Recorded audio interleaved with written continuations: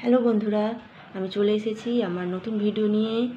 আজকের ভিডিওতে আমি কোষে দেখি নাইন পয়েন্ট ওয়ান অর্থাৎ দ্বিঘাতকরণে কোষে দেখি নাইন পয়েন্ট ওয়ান সলভ করব।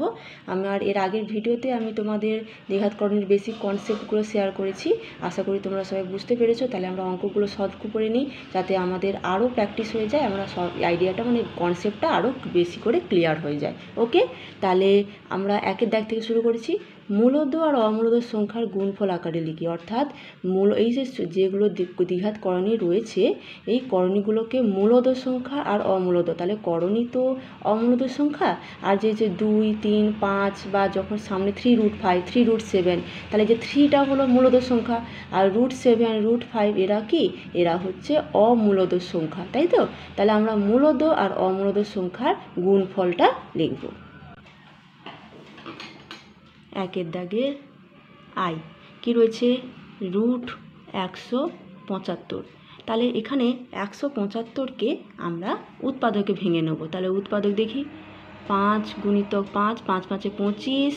পাঁচ পাঁচে পঁচিশ, সাতে একশো পঁচাত্তর। তাহলে পাঁচ পাঁচে পঁচিশ গুণিতক সাত, অর্থাৎ দেখো আমরা তো বর্গমূল নির্ণয় করতে আমরা জানি, তাই না? ছোটোবেলায় শিখেছিলাম। তাহলে পাঁচ, দুটো পাঁচ রয়েছে, তাহলে পাঁচের স্কোয়ার, অর্থাৎ পাঁচটা কি? বাইরে দীঘা মানে করণীর বাইরের বর্গমূলের বাইরে বেরিয়ে যাবে। তাহলে কত হবে? ফাইভ রুট সেভেন সেভেনের যেহেতু পেয়ার নেই মানে সেভেনের জুড়ি নেই, তাই সেভেনটা একা পড়ে রইল। তাহলে ফাইভের জুড়ি ছিল, তাই ফাইভটা বেরিয়ে গেল। তাহলে ফাইভ রুট সেভেন ওকে আচ্ছা এরপরে দুইয়ের দাগে। টু ইন্টু রুট একশো বারো। তাহলে দুইটা বাইরে রয়েছে, বর্গমূলের ভেতরে রয়েছে একশো বারো। এবার একশো বারোকে আমরা উৎপাদকে ভেঙে নিচ্ছি। উৎপাদকে আমরা ছোটোবেলাতে উৎপাদকটাও করেছি। তাহলে উৎপাদকে তোমরা যদি অসুবিধা হয়, তুমি পাশে এরকমই একশো বারো এরকম এভাবে ভেঙে নিতে পারো। দু পাঁচে দশ, দু ছয় বারো দুয়ে আঠাশ দুয়ে চোদ্দ, দু সাতে চোদ্দ। এভাবেও কিন্তু তুমি ভেঙে নিতে পারো, ওকে? তোমার যদি অসুবিধে হয়। তাহলে দুই গুণিতক দুই দুই চার, দুই আট দুইয়ে ষোলো ষোলো সাতে একশো বারো। অর্থাৎ প্রত্যেকের আমি পেয়ার করছি, তাহলে এই দুই এই দুই। তাহলে দুই, এই দুইটা ছিল, এই দুইটা বাইরে এলো, আর এই দুইটাও বাইরে এলো।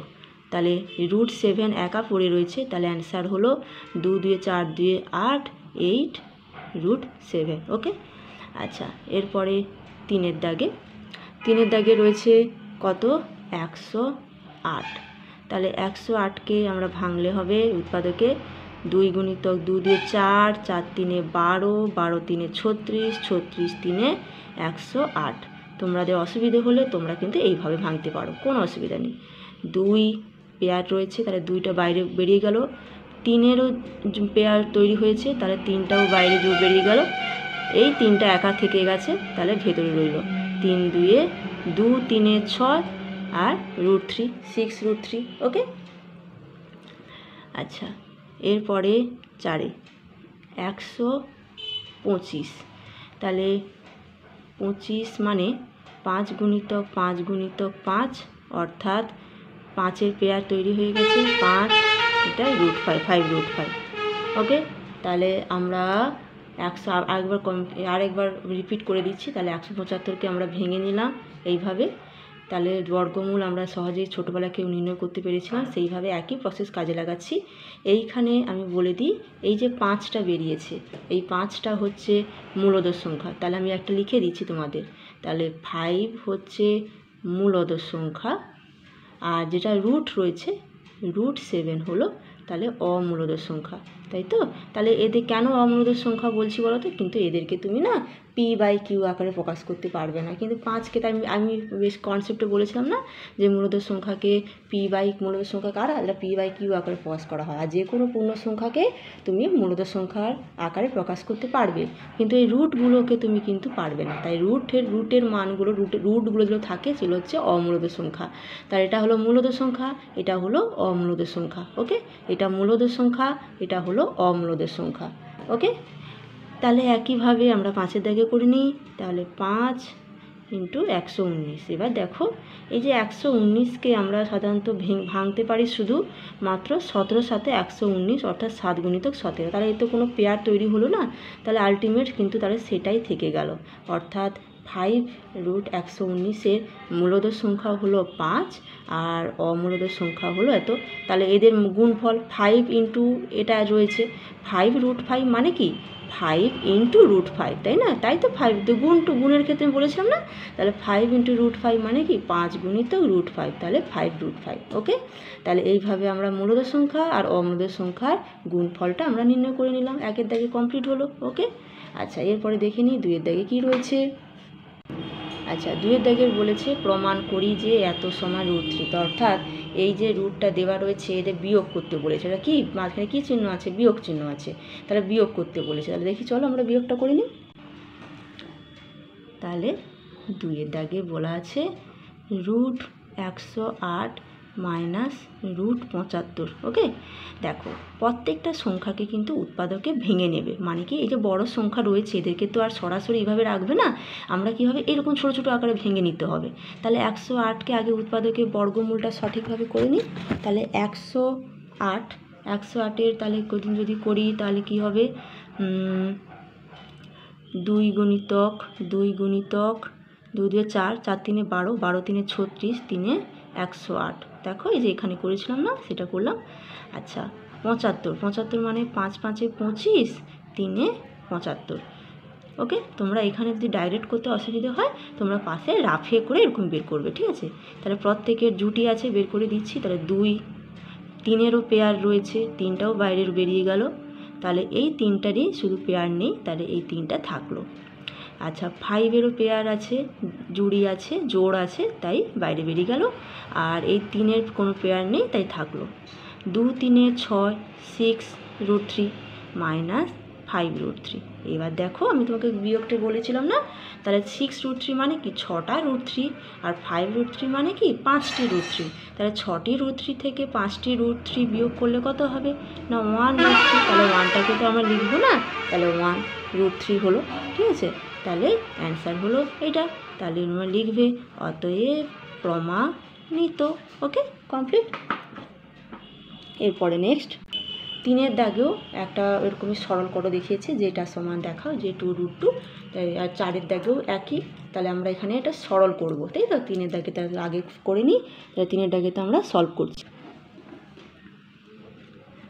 তাহলে তিনের দাগে রুট আটানব্বই plus root eight minus two of thirty two.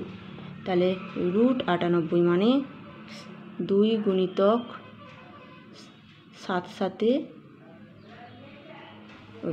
দু সাথে চোদ্দ চোদ্দোর সাথে আটানব্বই, ঠিক আছে? প্লাস আট মানে দুই গুণিতক দুই দুই দুয়ে চার দুয়ে আট। বত্রিশ মানে পাঁচটে দুই। বত্রিশ মানে তো আমরা জানি যে পাঁচটা দুই হয়। তাহলে দুই দুয়ে চার, দুই আট দুয়ে ষোলো দুয়ে বত্রিশ। তাহলে সেভেনের জুটি রয়েছে, জুড়ি রয়েছে, তাই বেড়ে বেরিয়ে গেল। দুই, এই দুইয়ের পেয়ার রয়েছে, তাহলে দুইটা বাইরে বেরিয়ে গেল। দুই গুণিতক এই দুইয়ের পেয়ার এই দুইয়ের জোড়, আর দুই একা। তাহলে ultimate seven root two plus two root two minus দু দিয়ে চার, দুই আট এইট রুট টু। দেখো, সবাই কিন্তু সদৃশ্য পদ। দেখো, root two root two root two, সবাই সদৃশ্য পদ। তাহলে এখানে রয়েছে সেভেন, এখানে রয়েছে টু, এখানে রয়েছে eight.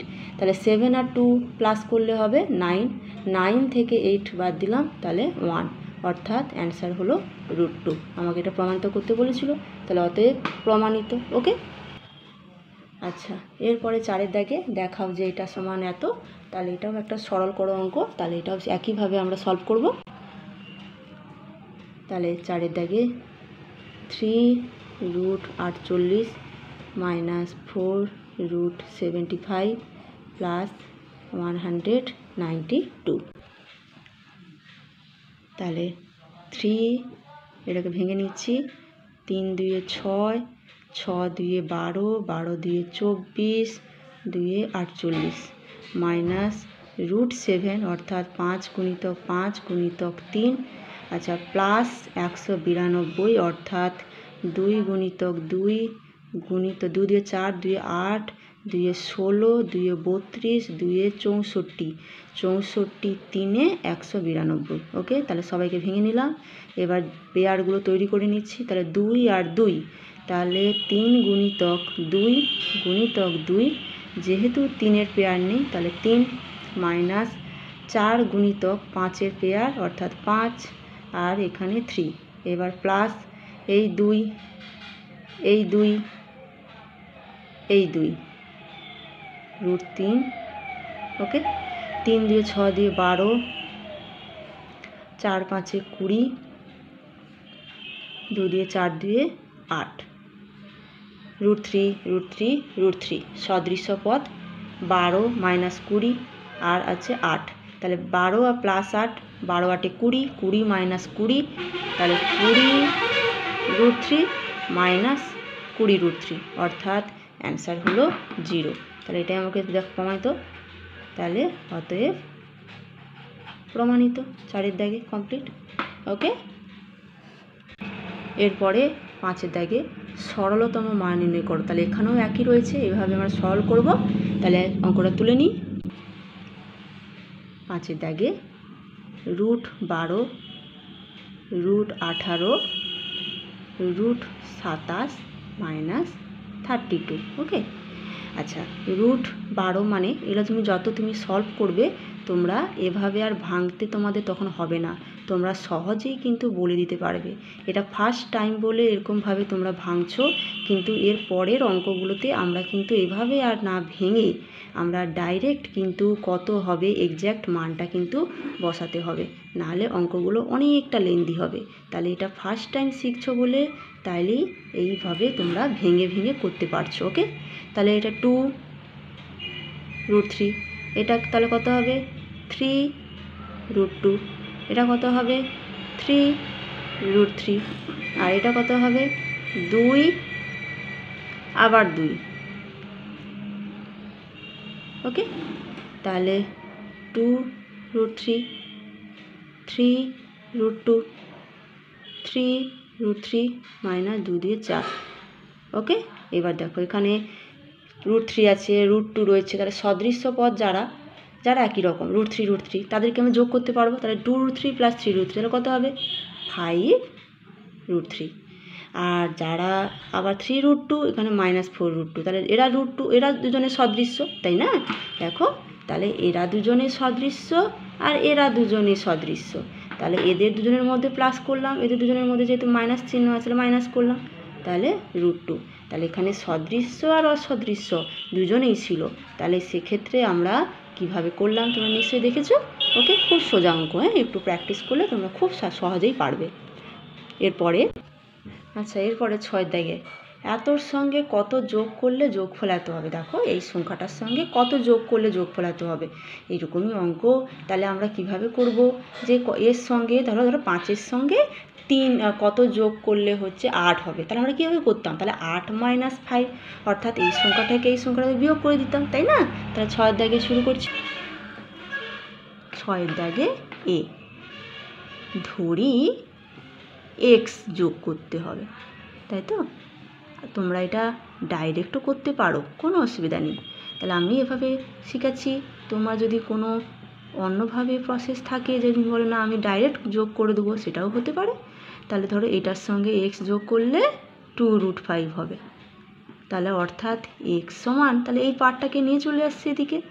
Two root five minus root five plus root three অর্থাৎ মাইনাস রুট ফাইভ প্লাসে মাইনাসে রুট থ্রি অর্থাৎ টু রুট ফাইভ আর মাইনাস রুট ফাইভ কত হবে? শুধু রুট ফাইভ আর এটা কেউ নেই যখন এটা একাই থাকুক, তাহলে কত যোগ করতে হবে? তাহলে অ্যান্সার হলো তোমার root five minus root three যোগ করতে হবে। এটাই অ্যান্সার ওকে আচ্ছা এরপরে আমরা বিয়ের দাগে।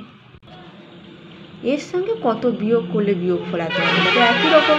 এটা যোগ ছিল, এটা বিয়োগ। তাহলে এর সঙ্গে কত বিয়োগ করলাম? ধরে নিচ্ছি যে এক্স বিয়োগ করতে হবে। তাহলে ধরি এক্স বিয়োগ করতে হবে। ওকে? তাহলে সেভেন মাইনাস রুট থ্রি থেকে এক্স বিয়োগ করতে হবে। অ্যান্সারটা হলো হবে থ্রি প্লাস রুট থ্রি তাহলে অর্থাৎ এক্সটাকে আমি ওদিকে নিয়ে চলে আসছি। তাহলে সেভেন মাইনাস রুট থ্রি এটা এদিকে চলে আসছে। তাহলে minus of three plus root three R minus x ছিল এদিকে হয়ে গেল প্লাস এক্স ওকে তাহলে সেভেন মাইনাস রুট থ্রি মাইনাসটাকে ব্র্যাকেটটাকে ভেঙে দিচ্ছি, তাহলে মাইনাসে প্লাসে মাইনাস মাইনাসে প্লাসে মাইনাস সাত থেকে তিন বাদ দিলে চার minus root three minus root three তাহলে কত হবে? মাইনাস টু রুট থ্রি সমান এক্স অর্থাৎ এক্সের মান কত? না four minus two root three তাহলে কত বিয়োগ করতে হবে? না, বিয়োগ করতে হবে ফোর মাইনাস টু থ্রি বিয়োগ করতে হবে।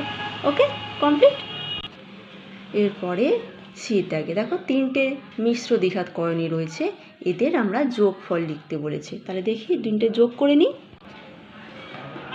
তাহলে সিতে রয়েছে two plus root three plus root three plus root five plus two plus root seven. তিনজন, এই একজন এই একজন। তাহলে এরা একজন, এরা এরা। এদের তিনটেকে আমরা যোগ করছি।